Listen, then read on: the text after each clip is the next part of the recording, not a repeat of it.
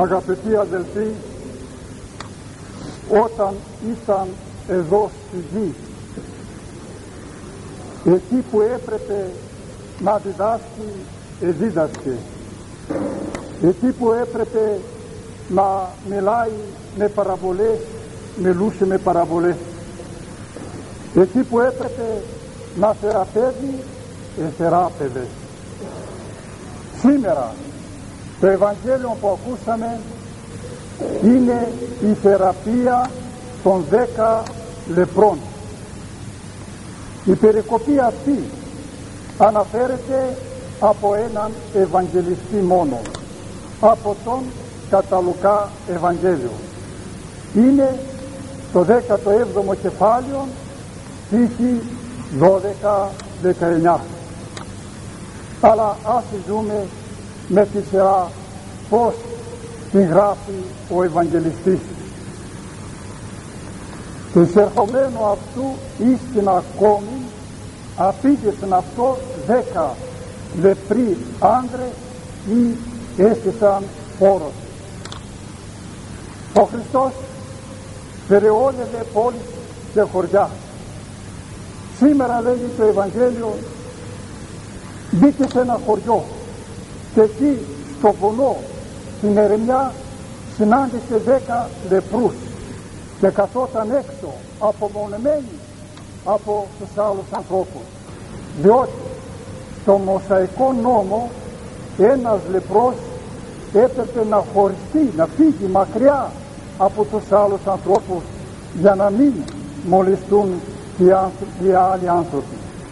Γι' αυτό κάθισαν έξω στην ερεμιά και αυτοί πήραν φωνή λέγοντες Ιησού επιστάτα ελέησον εμάς και οι λεπροί όταν ήταν από μακριά το Χριστό είχαν ακούσει τη δασκαλία του και τα, τα θαύματά του και σαν τον είδαν φώναξαν δυνατά Ιησού διδάσκαλε ελέησέ μας και εδώ είπε να πει Οραθέντες επιδείξατε αυτούς τις ιερές και γένετε το υπάρκειν αυτούς εκαθαρίστησαν.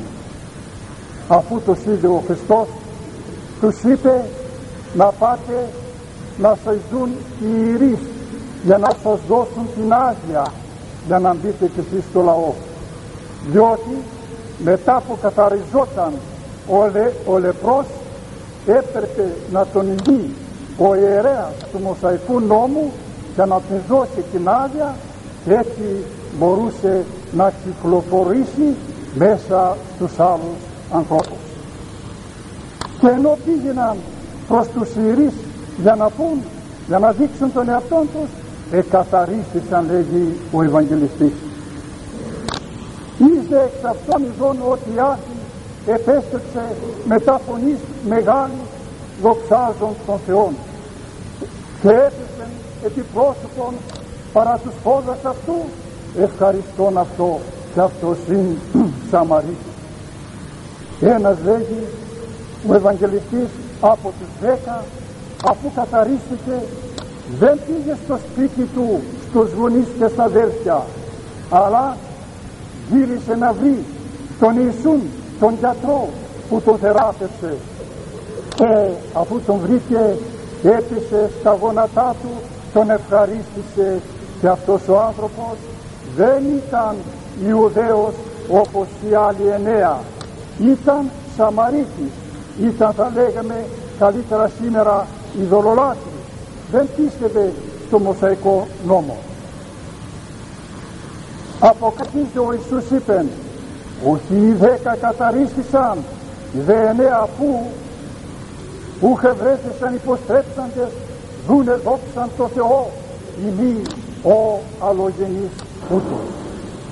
Ο Χριστός τότε είπε δεν καθαρίστηκαν και οι δέκα λεπροί οι άλλοι εννέα που είναι δεν βρέθηκαν δεν παρουσιάστηκαν να ευχαριστήσουν το Θεό παρά μόνον αυτός ο αλλοευτής και είπεν αυτό αναστάς χορεύου η πίστη σου σε έσωτέσε και είπε ο Χριστός αυτόν τον άνθρωπο πήγαινε στο καλό παιδί μου η πίστη σου σε έσωσε.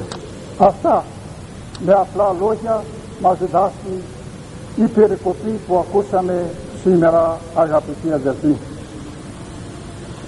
Αλλά το μεγαλύτερο κακό που υπάρχει σε αυτόν τον κόσμο αδελφοί μου η μεγαλύτερη αμαρτία είναι η αχαριστία να σου κάνει καλό άνθρωπο ο άλλος και εσύ να είσαι αχάριστος δεν υπάρχει μεγαλύτερο κακό αδελφοί μου από την ευχαριστία είδατε ο ένας γύρισε μόνος οι άλλοι εννέα δεν γύρισαν. Γι' αυτό το Ευαγγέλιο που ακούσαμε σήμερα μας διδάσκει να ευχαριστήσουμε να είμαστε ευγνώμονες. Να ευχαριστήσουμε όλους αυτούς που μας βοηθάν. Να ευχαριστήσουμε τους γονείς που μας γέννησαν και μας μεγάλωσαν και είμαστε υποχρεωμένοι να τους γεροκομίσουμε.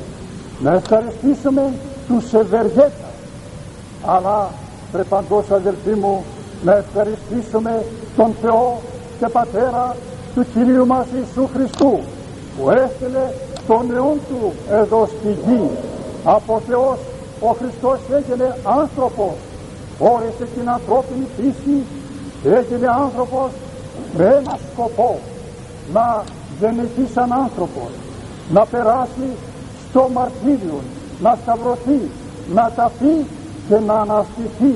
Και ο σκοπός του δεν ήταν άλλο για να δείξει μόνο σε εμάς τους ανθρώπους ότι η ζωή μας δεν σβήνει, δεν τελειώνει στο φτιάρι του νεκροτάφη αλλά ζει και πέραν του τάφου. Αυτός ήταν ο σκοπός του Χριστού που ήρθε στον κόσμο, γεννήθηκε σαν άνθρωπος, πέθανε, αναστήθηκε. Έτσι αγαπητοί μου αδελφοί, ο Χριστός με το Ευαγγελιό Του μας διδάσκει να μετανοήσουμε, να αλλάξουμε ζωή, να ξεβιζώσουμε τα πάθη μας και να οργώσουμε τον εαυτό μας. Όπως το τρακτέρ οργώνει τα χωράφια, έτσι και εμείς με την Αγία Γραφή, με το Λόγο του Χριστού, να οργώσουμε τον εαυτό μας, να ξεβιζώσουμε τα πάθη. Η Αγία Γραφή, αδελφοί μου, έχει φορά τρακτέρια που μπορούμε να ξεριζώσουμε τα πάθη μας και να οργώσουμε τον εαυτό μας. Από τα πολλά τρακτέρια που έχει η Αγία Γραφή θα αναφέρω ένα τρακτέρι του Αποστόλου Παύλου που γράφει προς Κολασαής επιστολή τρίτο κεφάλαιο στίχη 4-11 αυτό το τρακτέρι του Αποστόλου Παύλου το ακούσαμε αδελφοί μου προ λίγο το σημερινό Απόστολο. Λέγει λοιπόν ο Απόστολος Παύλος όταν ο Χριστός φανερωθεί η ζωή ημών τότε και εμείς είναι αυτό φανερωθήσετε εν δόξη. Όταν ο Χριστός που είναι η ζωή μας θα παρουσιαστεί στη Δευτέρα παρουσία τότε και εμείς όλοι πιστοί θα φανερωθούμε ενώπιον του ένδοξη και στη συνέχεια λέγει ο Απόστολος Παύλος τα μαχαίρια που έχει αυτό το τρακτέρι για να ξεβιζώσουμε τα πάθη μας και να οργώσουμε τον εαυτό μας. Νεκρώσατε ούν τα μέλη μόντα επί της γης και αναφέρει αδελφοί μου ο Απόστολος Παύλος τα μαχαίρια. Πορνίαν, ακαταρσίαν, πάθος, επιθυμίαν κακή και την πλεονεξίαν ήθισε στη ειδωλολατρεία. Δε έρχεται η οργή του Θεού επί τους Θεού της απευθείας.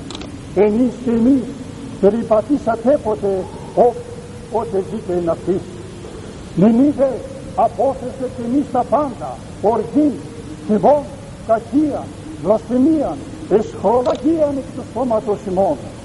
Μη ψεύδεστε εις αλλήλους, απεγρυσάμνοι των παλιών άνθρωπων συν την πράσινη αυτού και ενδυσάμενοι των νέων των ανακοινούμενων εις επίγνωση κατ' εικόνα του κτίσαντος αυτών. Όπου και Ιουδαίος ρητρομή και ακροβιστία βάρβαρος κύφης δούλος ελεύθερος αλλά τα πάντα στην πάση Χριστός.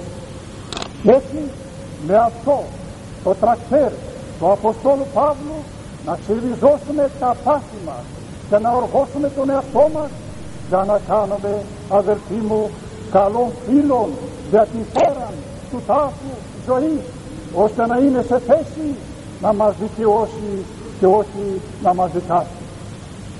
Για να καταλάβουμε αδελφοί μου αυτό που λέω ώστε να κάνουμε καλό φίλο για την πέρα του τάφου ζωής θα πω ένα απλό παράδειγμα και θα τελειώσω που συχνά το λέω αυτό το παράδειγμα εκεί που χρειάζεται. Κάποτε υπήρχε ένας άνθρωπος. Και αυτός ο άνθρωπος είχε τρεις φίλους. Και συκοφαντήθηκε ο άνθρωπος αυτός και οδηγήθηκε στο δικαστήριο. Όταν άκουσαν οι δύο φίλοι ότι οδηγήθηκε στο δικαστήριο τον ακολούθησαν μέχρι την πόρτα του δικαστηρίου. Δεν μπήκαν όμως στο δικαστήριο αλλά κάθισαν έξω από το δικαστήριο. Ένας όμως από τους τρεις φίλους μπήκε μαζί του ως μάρτυρα μέσα στο δικαστήριο και κατέστησε τι ήξερε για αυτόν τον άνθρωπο. Ξέρετε τι σημαίνει αυτό αδέρφια μου; Αυτό σημαίνει με μένα, με εσάς, με όλους τους ανθρώπους. Όλοι οι άνθρωποι έχουμε τρεις φίλους. Και θέλετε να μάθετε ποιοι είναι αυτοί οι τρεις φίλοι; Ένας φίλος είναι η δόξα, το χρήμα, τα πλούτη. Ένας άλλος φίλος είναι γυναίκα, άντρα, παιδιά, συγγενείς. Και ένας άλλος φίλος είναι τα έργα που κάναμε εδώ στη γη και είναι ολοκάθαρο αδελφοί μου ή το θέλουμε ή δεν το θέλουμε όπως γεννηθήκαμε έτσι μια μέρα θα φύγουμε θα πεθάνουμε από τον κόσμο τούτο και θα πάμε στην πέρα του τάφου ζωής. Και ζημνοί ήρθαμε ζημνοί θα φύγουμε. Όπως γράφει ο Απόστολος Παύλος στην πρώτη Τιμόθεων επιστολή του έκτο κεφάλαιο επτά στίχο ο δέγγαρ εισενέγαμε εις τον κόσμο δήλων ότι ουδέ εξενηγήθη δυνάμετα τίποτα λέγει ο Παύλος δεν φέραμε σε αυτόν τον κόσμο όταν γεννηθήκαμε. Και είναι ολοκάθερα ότι τίποτε δεν θα πάρουμε. Γυμνοί ήρθαμε, γυμνοί θα φύγουμε. Και όπως το τροπάριο της νεκρόσιμης ακολουθία θα μας ψάλει. Αν τα ματιώτιστα ανθρώπινα όσα που υπάρχει μετά θάνατο που παραμένει ο πλούτος που συνοδεύει δόξα επερθόν γάρο θάνατος θα τα πάντα εξυπάνει και έτσι αυτός ο φίλος αδελφοί μου θα μας εγκαταλείψει. Όση δόξα και έχουμε όσο ψηλά και είμαστε όσα χρήματα και έχουμε τίποτα δεν θα πάρουμε αυτόν το, από αυτόν τον κόσμο. Γυμνοί ήρθαμε γυμνοί θα φύγουμε δεν πάει να έχει τα δισεκατομμύρια της ανθρωπότητας. Δεν πάει να έχει μεγάλη δόξα να είσαι αυτοκράτορα σε ολόκληρη τη γη. Να είσαι πλανητάρχη. Δεν πάει να είσαι πατριάρχη. Δεν πάει να είσαι αρχιεπίσκοπος. Δεν πάει να είσαι πρωθυπουργός. Δεν πάει να είσαι πρόεδρος δημοκρατία. Όσο ψηλά κι αν είμαστε αδέλφια μου όσα θύματα και έχουμε μια μέρα θα μας εγκαταλείψει αυτός ο φίλος. Γυμνοί ήρθαμε γυμνοί θα φύγουμε. Ο άλλος φίλος που είναι γυναίκα, άντρα, παιδιά, συγγενείς. Και αυτός ο φίλος θέλουμε ότι μια μέρα θα μας εγκαταλείψει όταν θα έρθει αδελφοί μου στον καθένα από εμάς αυτή η ευλογημένη ώρα να φύγουμε από τον κόσμο τούτο στην πέρα του τάφου ζωής θα μας οδηγήσουν από το σπίτι μέχρι το νεκροταφείο. Και όταν το φτιάρι του νεκροτάφη θα μας σκεπάσει θα μας εγκαταλείψουν. Θα πήγουν σπίτι και θα είμαστε μόνιμα κοντά και αυτός ο φίλος θα μας εγκαταλείψει. Αυτοί ήταν οι δύο πρώτοι φίλοι που οδήγησαν αυτόν τον άνθρωπο μέχρι την πόρτα του δικαστηρίου ο άλλος φίλος τώρα που είναι τα έργα δεν θα μας εγκαταλείψει αλλά αυτός ο φίλος θα είναι σε θέση να μας οδηγήσει μέχρι στο χρόνο του Θεού και αυτός ο φίλος θα είναι σε θέση ή να μας δικαιώσει ή να μας δικάσει καθώς ο Απόστολος Παύλος προς Εβραίους επιστολή ένα το κεφάλαιο 27 στιχογράφη απόκαιτη της ανθρώπης άπαξ αποτανή. Μετά δε τούτο κρίση μια φορά που πεθαίνει ο άνθρωπος έπειτα εξακολουθεί η κρίση λέει ο Παύλος.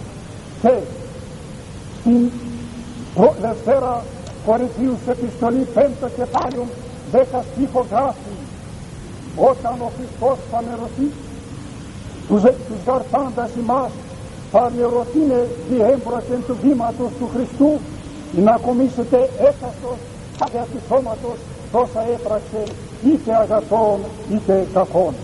Έτσι ο αυτός ο φίλος θα μας οδηγήσει μέχρι το θρόνο του Θεού καθώς πάλι το Άγιο Πνεύμα το τρίτο πρόσωπο της Αγίας Τριάδος ο Παράκλητος στην Αποκάλυψη 14ο κεφάλαιο 13 στίχο γράφει και ήκουσα φωνής μεγάλης λέγει ο Ευαγγελιστής Ιωάννης μακάρι οι νεκροί οι εν κυρίω αποδείσκοντες απάρτη δε λέγει το πνεύμα να αναπαύσονται εκ των κόπων αυτών τα δε έργα αυτών ακολουθεί με ταυτόν.